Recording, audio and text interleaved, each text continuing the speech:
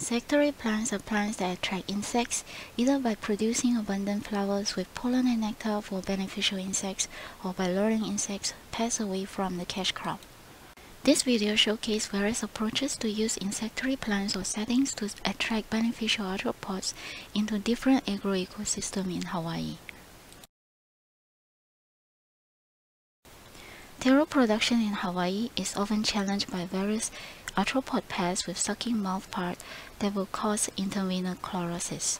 Spider mites have stylet-like mouthpart that cause white patches on the leaf wings.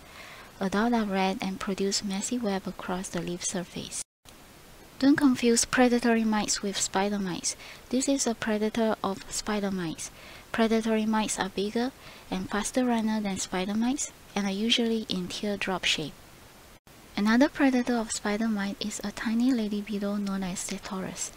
The adult is only 1 mm long.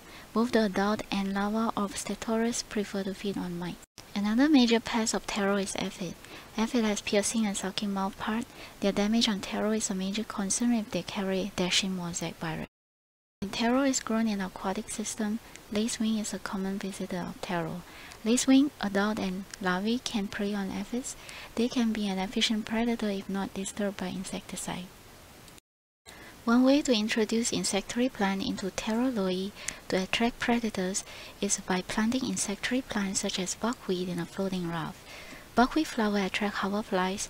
Hoverflies females like to lay eggs near the aphid's colony. When they hatch, the larvae will feed on the aphids.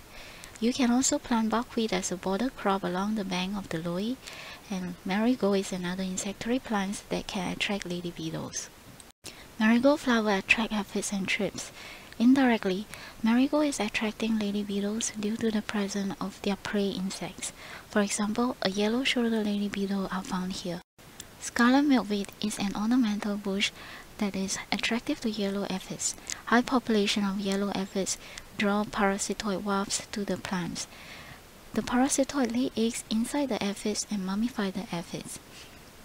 The parasitoid emerge from the mummified aphids by making an exit hole.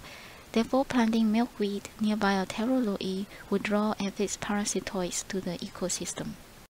Taro leafhopper are more common on taro during the dry summer.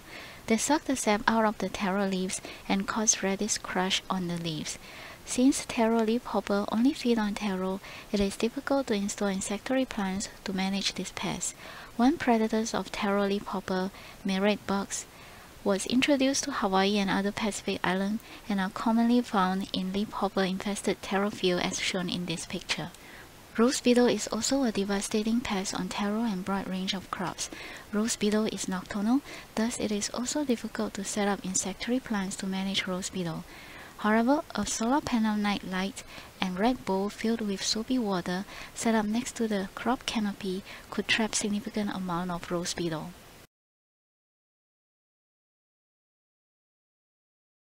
Onion thrip is a major insect pest of onion in Hawaii throughout the year. Their feeding causes longitudinal silvery streaking or blotching. Thrips damage is even more devastating if thrips transmit Iris yellow spot virus, which was reported in Hawaii in 2010. Thrips damage symptom is different from leaf miner damage with winding trails on the leaves.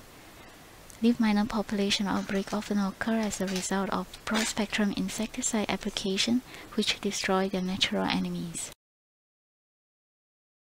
It is important to know that although the eggs, instars, and adults of thrips are associated with onion foliage, part of the thrips life cycle are pupate in the ground.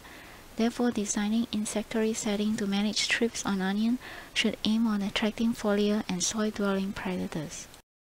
Generalist predators such as spiders can be enhanced in onion cropping system by planting cover crop and mow it down as surface organic mulch. Surrounding the cropping area with cowpea or buckwheat insectary plants could further attract other natural enemies that can prey on thrips and leaf miners.